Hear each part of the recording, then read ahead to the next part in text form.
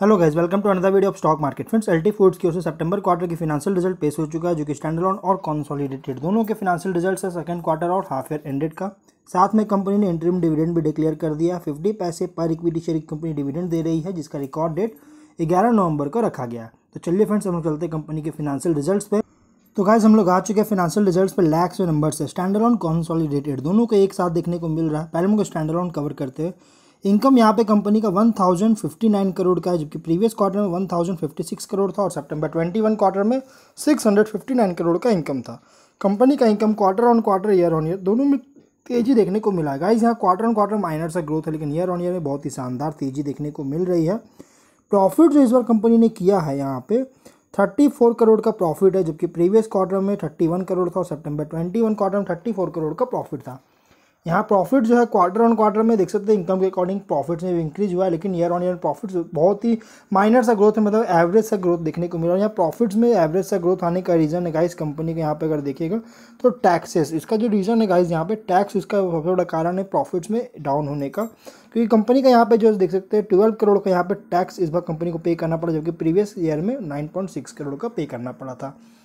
जिसके current tax जिसके कारण कंपनी का प्रॉफिट थोड़ा सा यहाँ पे अच्छा इंप्रूवमेंट देखने को नहीं मिला है। E P S zero point nine nine rupees का यहाँ पे sorry friends E P S जो है यहाँ पे, देख सकते हैं one point zero nine rupees का है, जो कि पिछले क्वार्टर से तो ग्रोथ है बट पिछले साल से यहाँ पे माइनर सा ग्रोथ देखने को मिल रहा है।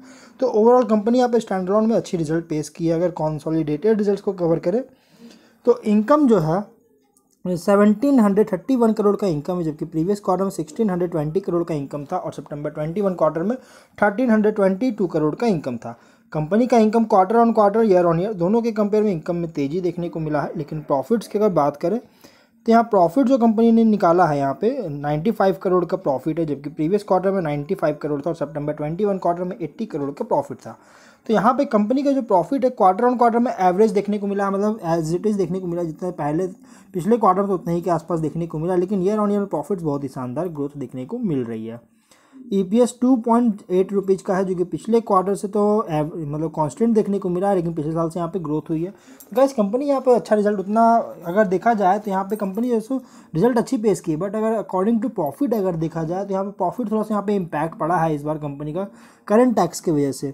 तो करंट टैक्स बहुत ज़्यादा पे करने पड़े कंपनी को यहाँ पे, जो कि थर्टी फोर करोड़ का है पिछले, और उसके साथ साथ कंपनी यहाँ पे इसी कारण जो कंपनी का प्रॉफिट थोड़ा सा गिरावट आई है।